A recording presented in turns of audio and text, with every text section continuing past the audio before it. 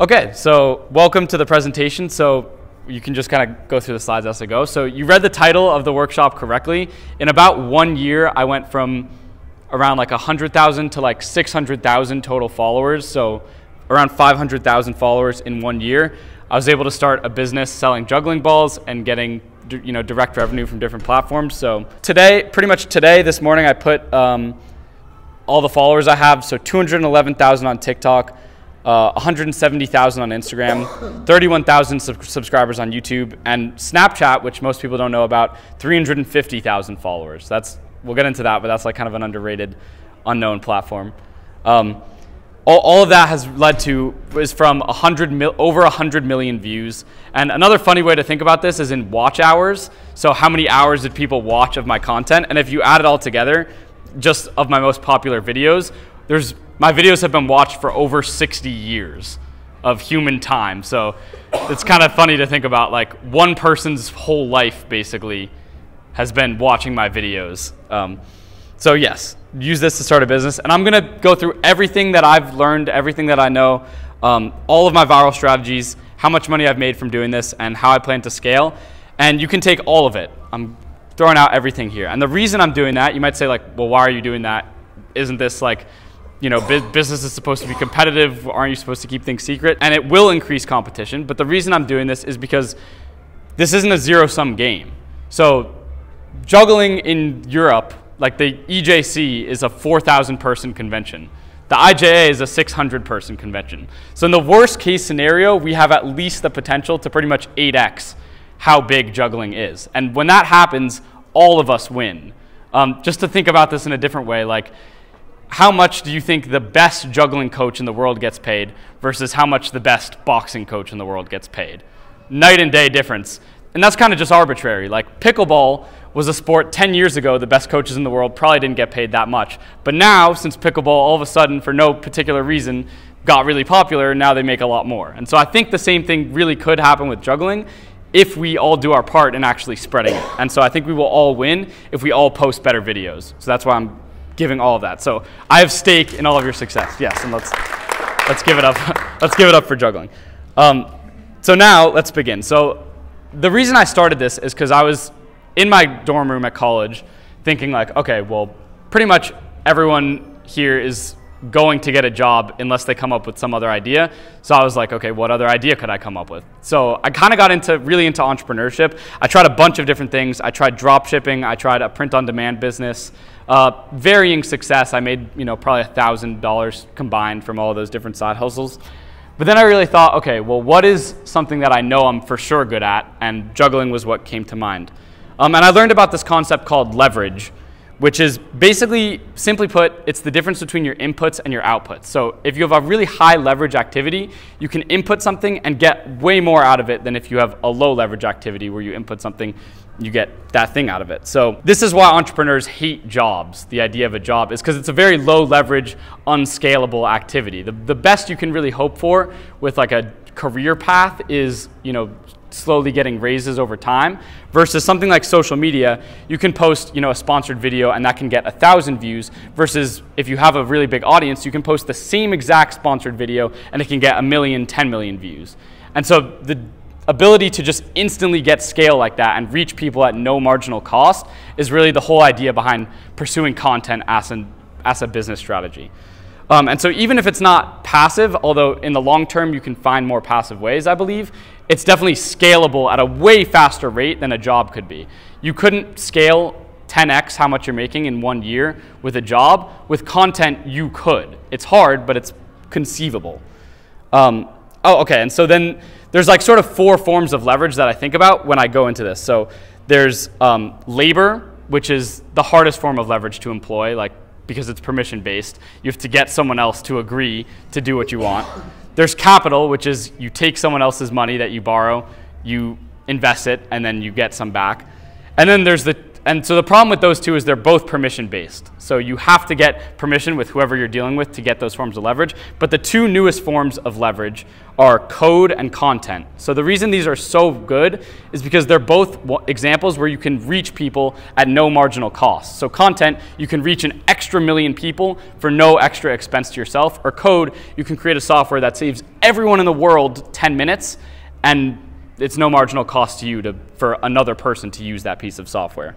So that's where I started. I started with content because that was pretty much the only thing I could do. I didn't have money to employ people. I didn't have people I could borrow money from, um, and I don't know how to code. So I was like, but I could post a video to TikTok, so that's what I'm going to do. Um, and if you're on this slide, slide uh, 26, you can see one of my first videos um, where, if it loads well, we'll see. But this was just what the earliest possible days of my content looks like. It's just me literally clicking the button record, stepping back from the camera, juggling, and then coming back, clicking stop. And this is when I just was posting, had no idea what I was doing, and this video got like a thousand views on TikTok, I think. Um, and now my videos consistently get at least 20K views across all platforms, and some even get millions. Um, and so here's my framework so you can steal this and go viral. So the algorithm is decided by different metrics, right? You, it's hard, like you think of the algorithm as like, oh, it's kind of just luck. But no, it tracks very specific things and you, the whole point is kind of to play into all of those things.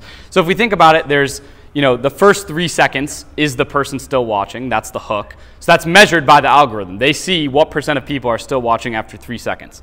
Then you have retention rate, which is how long do people stay till, the, like, do people stay all the way till the end of the video?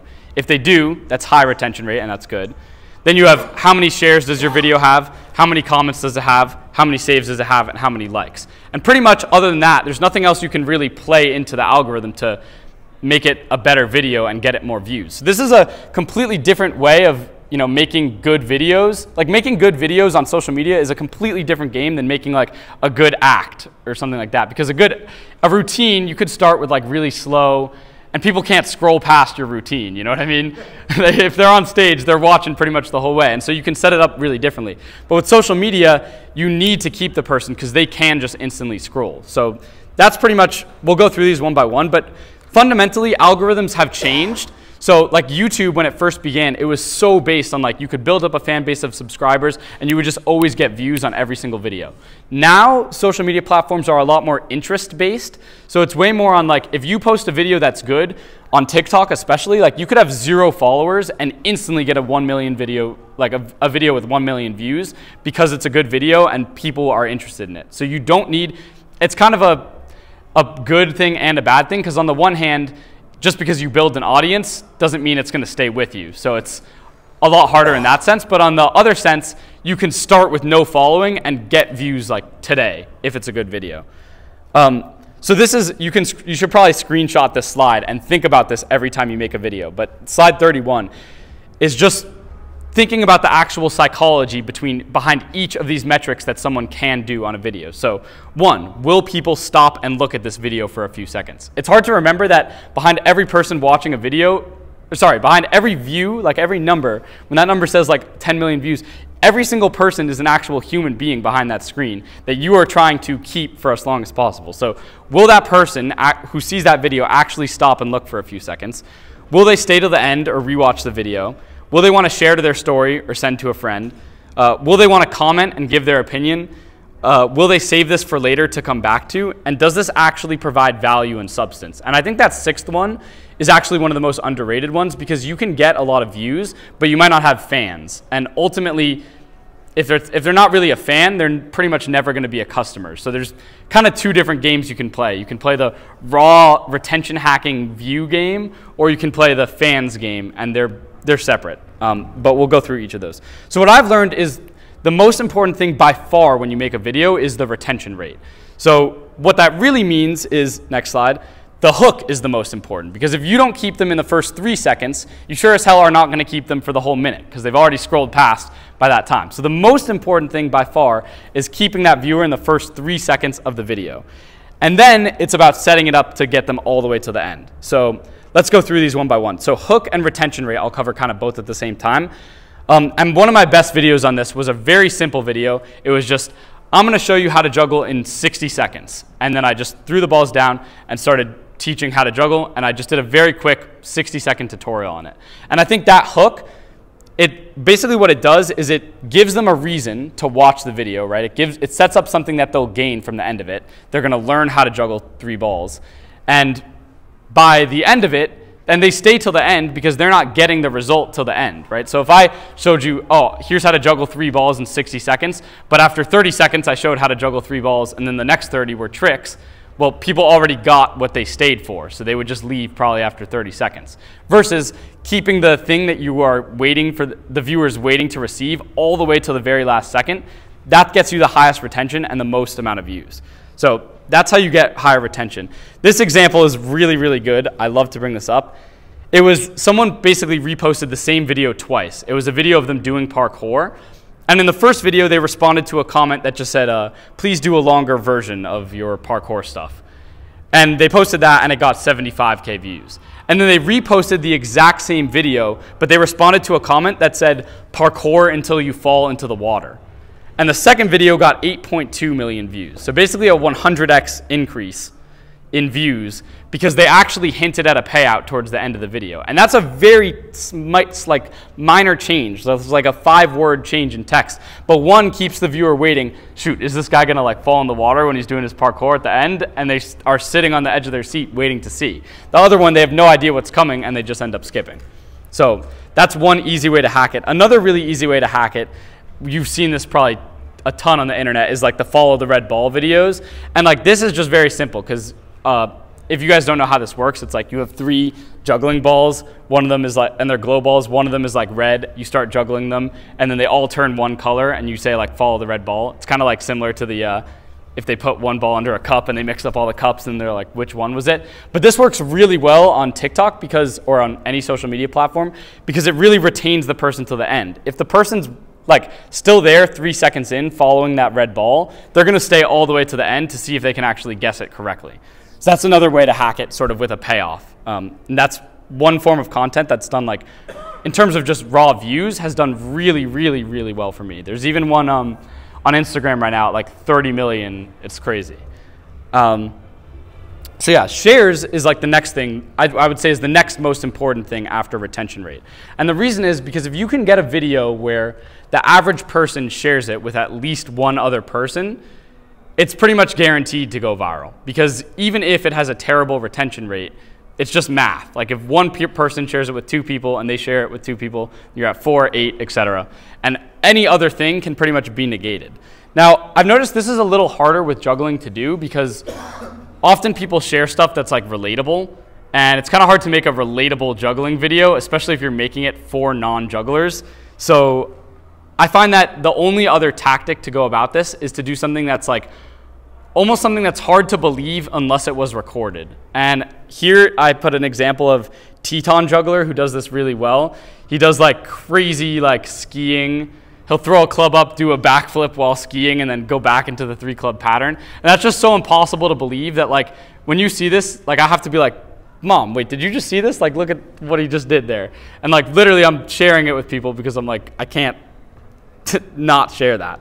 Um, so that's how I go for shares. Comments, another version of comments is like the guess the guess the red ball videos. At the end, I'll literally just say comment which ball it is, and that gets more comments, which helps in the algorithm. Um, but I think there's a better way to do this, and I have a I have a video posted here on it, um, but we should probably watch that after. But basically, the video explains that the best way to get more comments is to actually intentionally hide in an extra layer into the video that causes people to comment. So I'll show you, if you go to the slide after this one, um, yeah, I did this accidentally on, fir- uh, on, uh, on this first video. So this video that, that uh, was how to juggle in 60 seconds, that's at like 15 million views. And I expected the comments to be like, oh, thanks for teaching me how to juggle or whatever. The two biggest comments that I saw were one, people making ball jokes, okay? And two, people saying that, like, people saying like, oh, we're not going to talk about how he just kicked the ball up without even like saying anything. So I didn't even think about this, but when I was recording the, that how to juggle three balls, I put the other two on the ground. I was like, you start with one, and then you pick up your second ball, and then you start doing two. And I, that's just so normal to me that I didn't even think about it. But a bunch of people were commenting like, wait, he just made that, where did that ball even come from? He did it so nonchalantly. Like, so now once you start to see stuff like that, you can add in that extra layer to the video intentionally to pretty much bait more comments, which I do all the time now. Like, I have a whole series where I do like, um, oh, so if you just take one ball and you throw it like this, and then you get another ball, and I always make sure, instead of you know pick, taking it out of my pocket or anything like that, to make sure the frame doesn't see my foot in the camera and kick it up. So it looks like the ball is appearing out of nowhere, and I'm baiting those like comments of people being like, "Wait, where did the ball come from?" Like, so it's kind of not actually central to the video, but you're getting extra retention for free by doing that. Um, you can watch this one after as well, but this is like an example of me doing it. This one's at like on YouTube, this one went really viral. It's at like 6 million. Um, but yeah, you're doing that exact idea of like just kicking it up so people are like, wait, where did it come from? Um, and adding in those elements. Saves is the next thing that you will try to maximize in the algorithm, like in terms of importance. Um, and really the only thing to do here is to give someone that something would want to rewatch later. So a tutorial is a really good example of this because if you see it, you know, if you see a how to juggle three balls tutorial, but you don't have three balls in front of you right now, you'll probably save that video so when you get home and you have the three balls, you'll be able to juggle it when you get home and see that tutorial. So that's how I try to get saves, pretty much tutorials or something where the person is like confused and they have to come back later to rewatch it for some reason. Um, and last is likes. And if you want to get likes, uh, post pet videos or very emotional videos. That's my only tip. But no, uh, those, those tend to get the most likes. Like if you have a really sad pet or uh, you know, some traumatic you know, care for a pet that was injured, that will get like a ton of likes. Um, it's a little harder with juggling videos, but I think with juggling videos, the main thing is this idea that we were talking about of, com of uh, sorry, fans versus just views. And when you make a video that actually helps someone, that's what will get you likes on a video rather than just a ton of views. So I've had to accept, for example, that like uh, here you see an image of like some of my tutorial videos and like a video that I make for non-jugglers easily can get like hundreds of thousands but all my tutorial videos on Instagram get like under 20k and I'm fine with that because I know when someone watches one of those tutorial videos they typically are watching a longer amount of it and it actually helps someone behind the screen people there is actually someone behind the screen that you are helping when you post a tutorial video like that and that's ultimately who is going to be a, someone that's going to be a customer, not someone who watched a guess the ball video, thought it was cool, and then scrolled. They don't even know who you are. Like, okay, yeah. So let me just tell you guys a couple video styles that you can just take from me. Um, so the first one is the follow the ball video. That this is again one of the most. Th I did not come up with this idea. It's been used a lot, and I think we could just pretty much break the internet by continuously posting these and you know, these one out of every like five or ten of these gets over a million views for me, pretty much. So they're pretty cool. Um, you can watch some of them and see how they're done. But if you want to know specifically how they're done, I use the K8 balls, and then I record having one ball set as red, juggling, and then switching it to uh, the fade mode, and then that's how I get that effect that I get. Um, a second one you could steal from me is just tutorials. Talking ones specifically, these are very quick and simple to record because you can literally just press record and in one take, like the third, the how to juggle three balls in 60 seconds, it's just one straight take. Probably took me a couple tries to get it, but other than that, like you guys know how to teach how to juggle three balls, so you guys can do that or any other tricks that you think are cool. Um, and the more, the less niche of the trick, the more viewers you will reach. So like the three ball video, as I said, got like 15 million. My video on how to do cross column inverted box did not get 15 million, uh, the talking tutorial. But, but it probably helped a couple specific people a lot, and that's that also that to some degree might be more important than you know just getting raw views. Another version, which I didn't talk about yet, that has done really well is tutorials where I don't talk. So this is a really interesting stat. On Instagram, I believe it was something like over 70% of the top 100 most popular creators on Instagram do not talk in their videos. So you're like, wait, why? And the answer is because only 10% of the world speaks English, but there's 4 billion uh, Instagram users, I believe. So like the, all these like I don't know if you know Zach King. He does these like illusion videos, kind of or like magic. But like this is a very similar thing. So instead of being like here's how to do cross column inverted box, I just put a tiny bit of text on the screen that said how to do this trick. I started with cross column inverted box, and then I do step one, and then I go like with one ball, and then I do step two,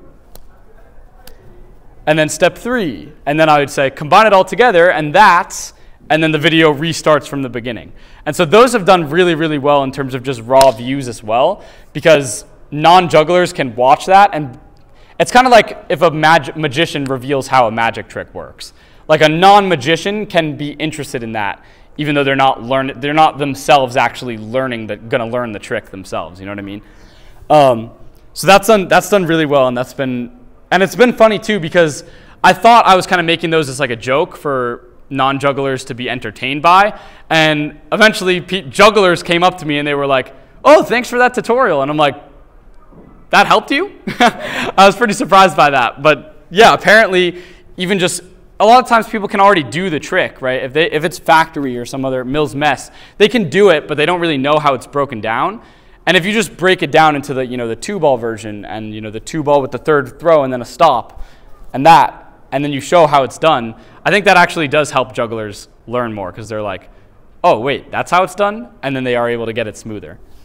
Um, and another, so then the third one that I would def, or the fourth one I would say definitely just take from me. This is like the most, the, probably the easiest, quickest way to improve your content is rather than posting, you know, someone, I was talking to a kid earlier that posted like his seven ball uh, you know, a clip of his seven ball.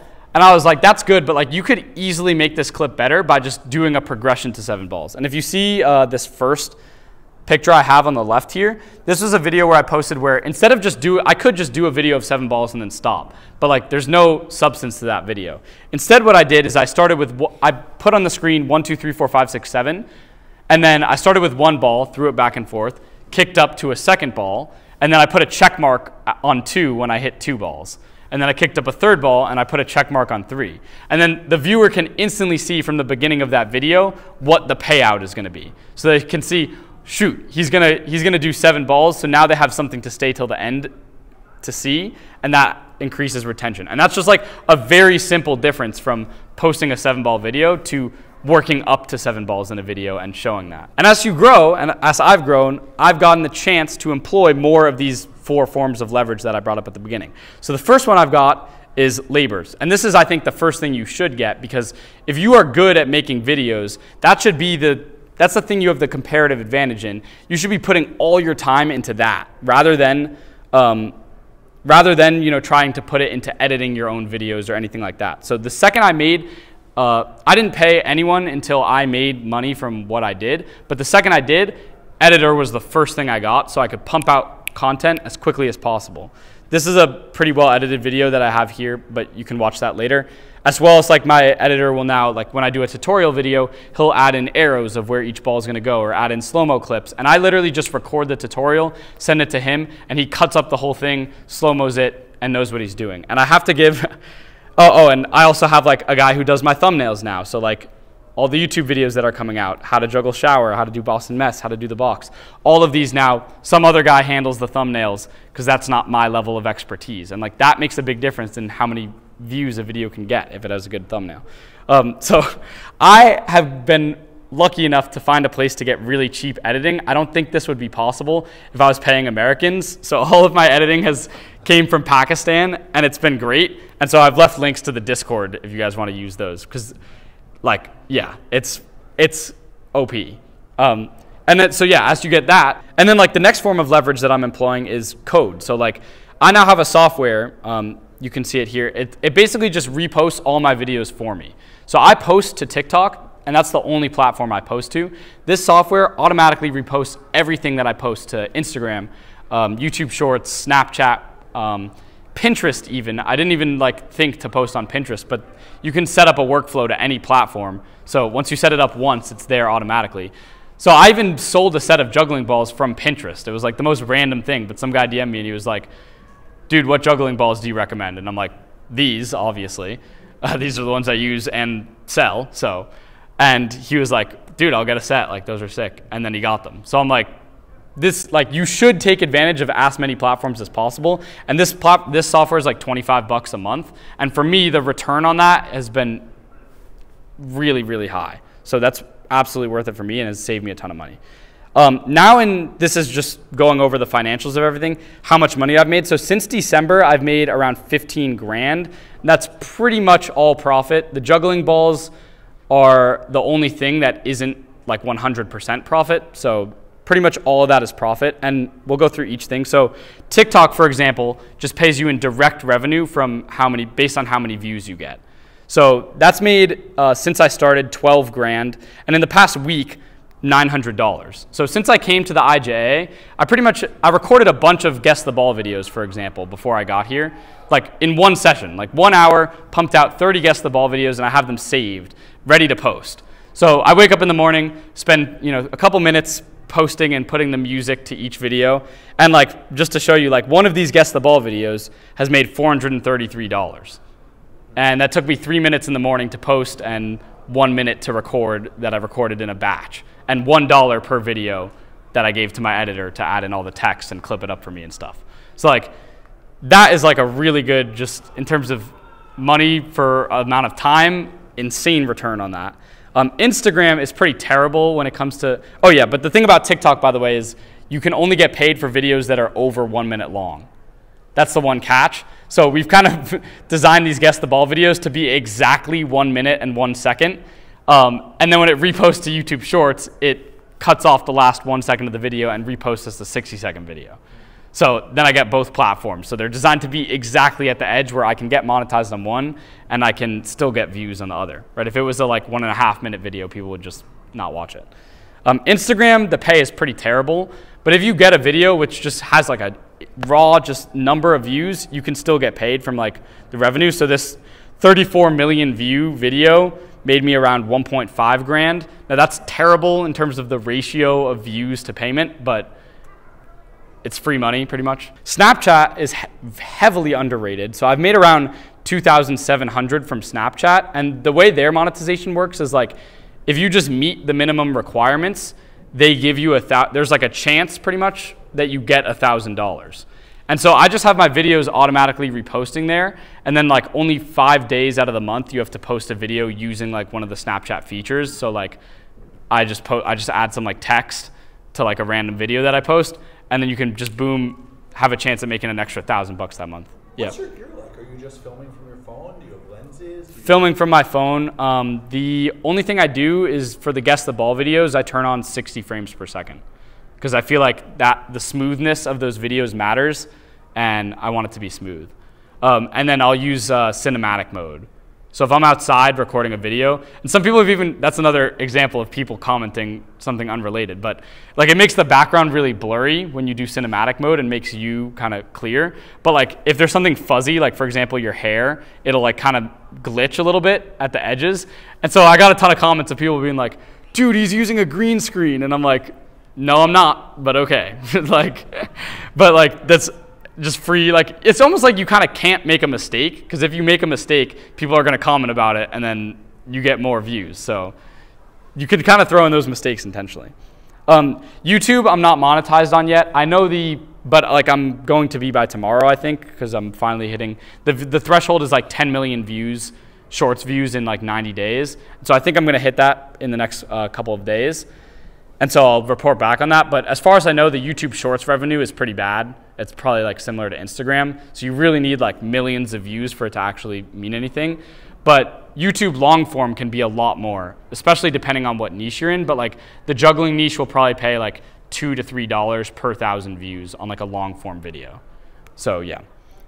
Um, and then Shopify, this is just like juggling ball sales, and I also have I also have one digital product, which is just like a list of tutorials that I've sold, and that's done 7,800 since November, which is when I started it.